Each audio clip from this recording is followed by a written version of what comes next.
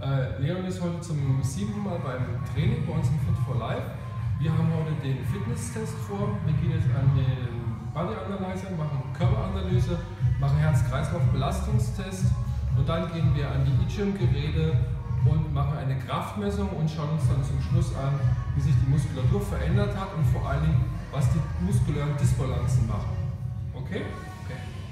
Nach jeder sechsten Trainingseinheit führen wir im Fit for Life diesen Zwischentest durch.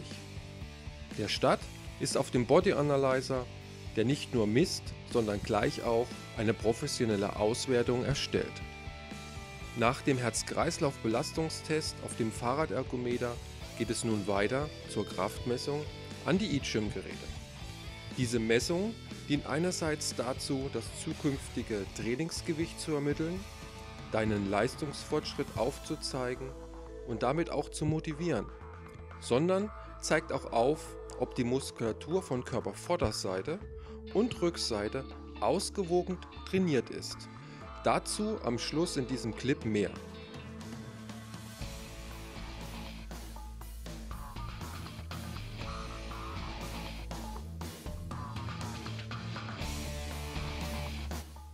Nach dem Grundlagentraining am Zirkel trainiert Leon noch an einigen speziellen Kraftgeräten die er für seinen Motorsport braucht und was er persönlich noch für die Erreichung seiner Ziele benötigt.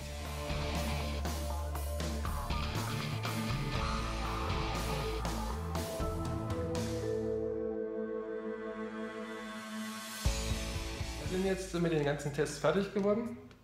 Wir sitzen hier im Trainerbüro und machen jetzt die Auswertung von den Kraftmessungen und schauen uns das Ganze jetzt mal auf unserer eGym Fitness App an.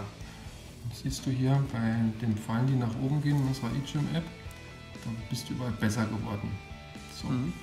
wenn ich hier draufklicke, siehst du hier wie eine Kurve, Grafik, ein Gewicht, ein Trainingsgewicht besser geworden ist.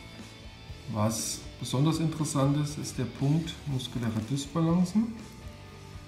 Und hier siehst du, wie das Verhältnis ist, zum Beispiel von Oberschenkelvorderseite, Oberschenkelrückseite, von unterem Rücken zum Bauch. Das ist, hier müsst ein bisschen mehr von unteren Rücken noch tun, ansonsten oberer Rücken, Brust, alles super ausgewogen.